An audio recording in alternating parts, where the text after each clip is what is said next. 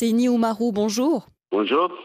Le MNSD n'a pas toujours eu bonne presse, notamment à cause du Tazarché. N'êtes-vous pas encore handicapé par cet héritage? Euh, Pas du tout. Ce qui s'est passé donc en 2010, euh, nous l'avons laissé derrière nous, ça fait déjà un moment. Nous assumons entièrement tout ce qui s'est passé.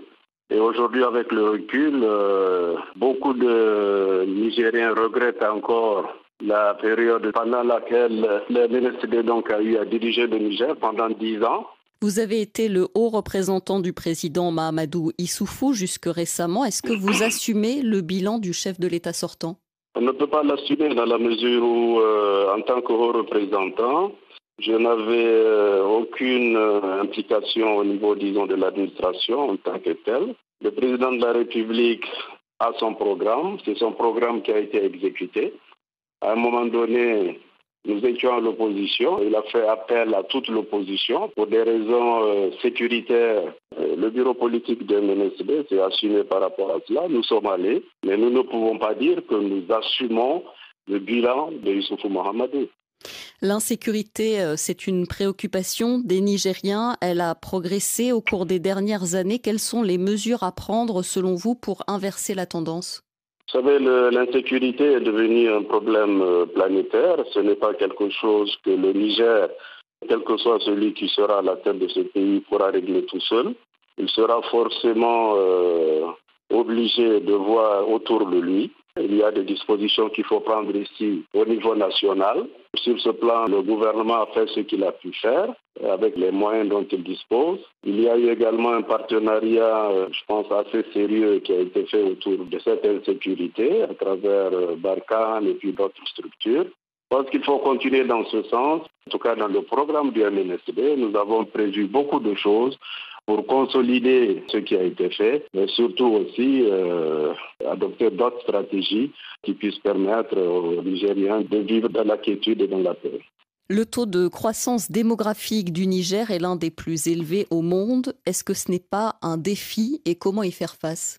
C'est un défi, nous en sommes conscients, nous avons eu à gérer ça pendant dix ans. Nous avons euh, des contraintes, euh, effectivement, qui sont des contraintes des fois sociétales, des contraintes religieuses.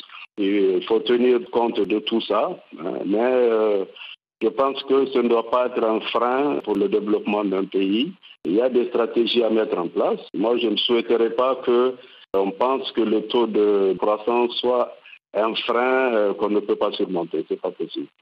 Vous avez accompagné le chef de l'État pendant son second mandat. Est-ce que cela ne brouille pas les pistes pour les électeurs? Non, pas du tout. Nous avons voté euh, dimanche dernier. Nous allons voter encore le 27 et je pense qu'avec euh, le scrutin du 27, on en aura le cœur euh, net. Mais pour nous, il ne s'agit vraiment pas de cela. Les élections locales ont eu lieu dimanche dernier. Le fichier électoral a donc été testé. Est-il fiable? Fichier n'est jamais fiable à 100%. Il est encore peut-être, à mon avis, un peu trop tôt pour euh, dire que tout s'est très bien passé. L'équipe est en train de faire le point, voir tout ce qui a marché et ce qui n'a pas marché. La CENI, de son côté, je pense, est en train de faire euh, le même exercice.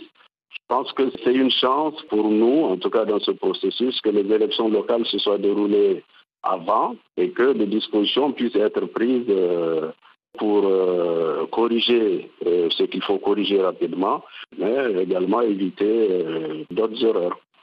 La Cour constitutionnelle a invalidé la candidature de Hama Amadou pour la présidentielle. Est-ce qu'il aurait fallu lui permettre de se présenter? La Cour constitutionnelle, à l'heure actuelle, est une cour qui est en train d'être contestée pour beaucoup de raisons, mais surtout par rapport à la candidature de M. Bazou Mohamed, Quant à la candidature, disons, de Hama, la Cour l'a rejetée et il faut euh, rendre euh, hommage quand même à Hama dans la mesure où euh, il n'a pas contesté, contrairement à ce que beaucoup de gens ont pensé.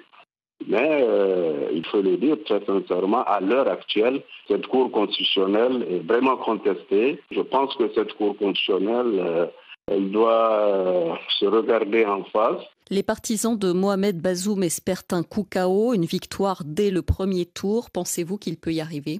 Non, mais ça c'est un rêve. Moi, je ne crois pas à ça. Et dans tous les cas, je pense que les résultats des locales vont les dissuader. C'est Oumarou, merci.